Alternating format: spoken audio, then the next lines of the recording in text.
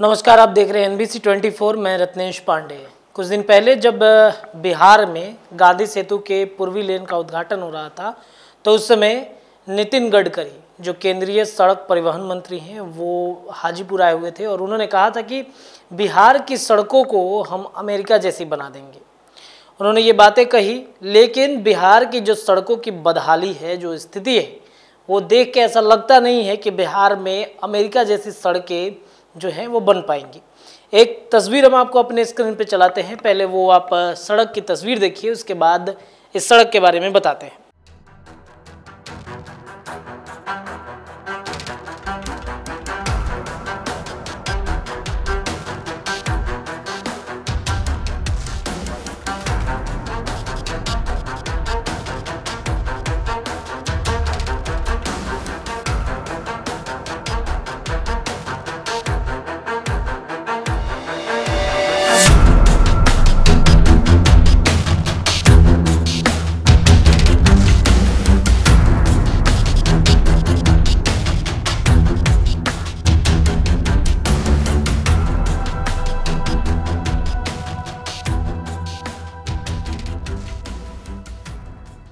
तो दर्शकों, जिस सड़क को आप देख रहे हैं अपने स्क्रीन पे, वो सड़क मधुबनी ज़िले का है।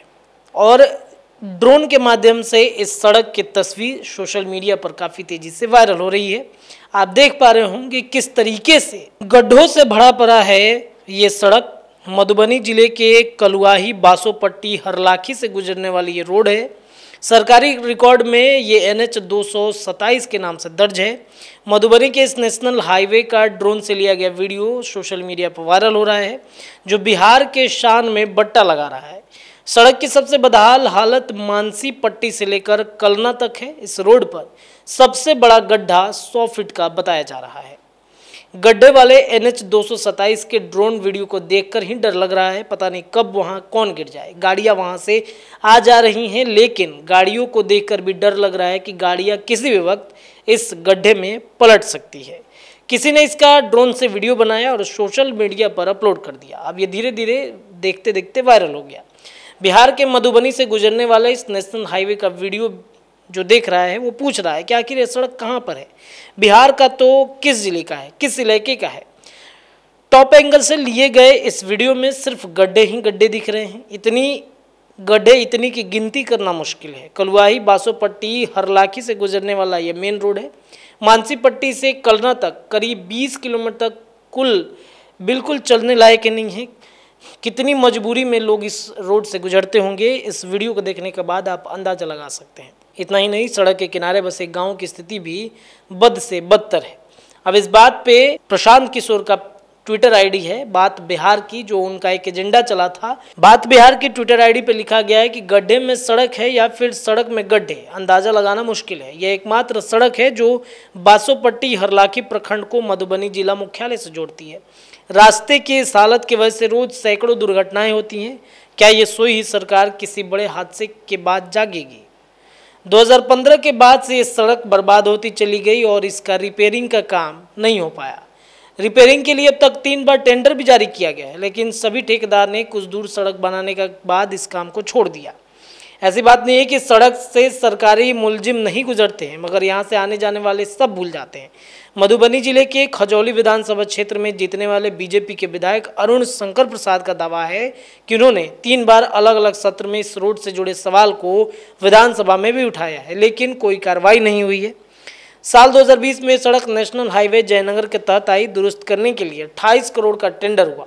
ठेकेदार ने समय से काम नहीं पूरा किया तो एनएचआई ने हटा दिया। मामला कोर्ट में चला गया। ठेकेदार ने मीडिया से कहा कि विभाग के अफसर बिल लटका देते हैं। अब नए सिरे से टेंडर निकालने की बात हो रही है, मगर इसमें कम से कम तीन महीने का समय लग सकता है। इसका मतलब ये हुआ कि इस बरसात में भी ये सड़क तालाब बन जाएगा। वीडियो वायरल होने के बाद पथ निर्माण मंत्री हरकत में आए हैं। मीडिया के मुताबिक कार्रवाई की राग अलाप रहे हैं। तो ये सिर्फ़ मधुबनी ज़िले की ही बात नहीं है। बिहार में कई ऐसे सड़कें हैं, कई ऐसे रोड है जो नेशनल हाईवे को जोड़ती है और वहाँ की जो बदहाली है, वहाँ की जो स्थिति है, वो बद से बदतर है। नेशनल हाईवे को बिहार सरकार काफ़ी चमका देती है क्योंकि उसी से कई जो अधिकारी हैं, कई जो बड़े नेता हैं, नेशनल हाईवे से गुजरते हैं। लेकिन नेशनल हाईवे को जोड़ने वाला सड़क, गाँव के अंदर का सड़क उसी तरह रहता है। क्योंकि तो स्पष्ट रूप से ये कह सकते हैं कि बिहार सरकार सिर्फ़ नेशनल हाईवे को जोड़ने का काम करती है, उसे सौंदर्यीकरण का काम करती है। गाँव के अंदर की जो बदहाली की स्थिति है, उसकी वो किसी भी प्रकार की मरम्मत नहीं कहती है। और इसी बात पर नितिन गडकरी कहते हैं कि बिहार की सड़कों को अमेरिका जैसे बना देंगे। अगर ये स्थिति रही तो बिहार की सड़कें अमेरिका तो क्या? जिस तरीके की जो तस्वीरें आई हैं, वैसी की वैसी ही रह जाएँगी। बहरहाल, इस खबर पे आपकी क्या राय है? कमेंट सेक्शन में ज़रूर दीजिएगा। इस खबर में इतना ही।